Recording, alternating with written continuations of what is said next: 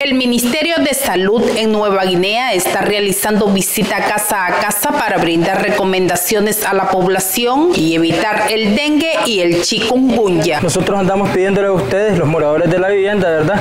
Que es importante mantener los patios limpios. Si encuentra lata, eliminarlas, llantas, ponerlas en un lugar donde no se mojen o si no, depositarlas en el camión de la basura el día que ellos pasen, ¿verdad? De esta manera nosotros contrarrestamos lo que son las enfermedades del dengue. Los criaderos no solo es el charco como tal, a veces mantenemos floreros llenos de agua, un taponcito, una, una cáscara de coco, cualquier cosa que recoja agua. Tenemos un plan intensivo de visita casa a casa, de jornadas de limpieza y vamos a estar además haciendo reuniones en los diferentes barrios, en las escuelas. Lo más importante es eliminar criaderos en cada casa.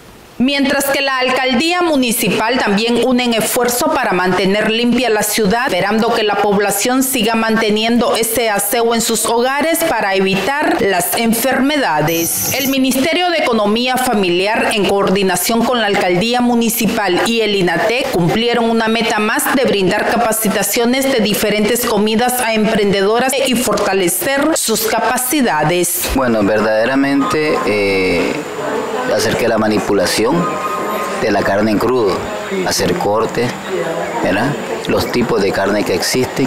Yo considero que es buen provecho porque independientemente que uno sepa, alguna cosita siempre aprende de más. Aprendimos a hacer diferentes cortes en los diferentes tipos de carne, en el cerdo, en el res y en el pollo. Y para nosotros es una gran satisfacción, para nuestro gobierno que mandata a que la familia se prepare y que la familia vayan emprendiendo y que vayan adquiriendo mejores conocimientos. Esto con el objetivo, ¿verdad?, de poder capacitar a, a los compañeros que atienden el turismo para de esta forma poder dar mejor una atención a los turistas en el caso de, de las herramientas que ellos necesitan en atención en técnicas de cocina. En una conferencia de prensa, la alcaldesa de Nueva Guinea dio a conocer sobre la firma de un convenio sobre la electrificación en el estadio Napoleón Reina, un sueño que muy pronto se convertirá en realidad. Las luminarias estarán distribuidas en ocho torres de 27 metros de altura.